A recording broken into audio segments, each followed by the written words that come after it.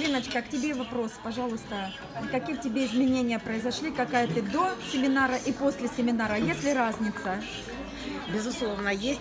Спасибо, во-первых, что я здесь, Лариса, тебе и всем нашим. Информация та же самая, но она для меня она более полная, более насыщенная. Э, С чем я сравниваю наше, да, как бы говорить тему, я не вижу смысла сейчас в коротком интервью. Я сравниваю наши ростовские утренний кофе, там, э, работу наша ростовская. Это как сериал такой, наш личный сериал. Когда я приехала сюда, такое впечатление, как, знаете, на призовой фильм. Вот его нужно здесь, фильм выдвинут на премию, да, поэтому его нужно обязательно смотреть.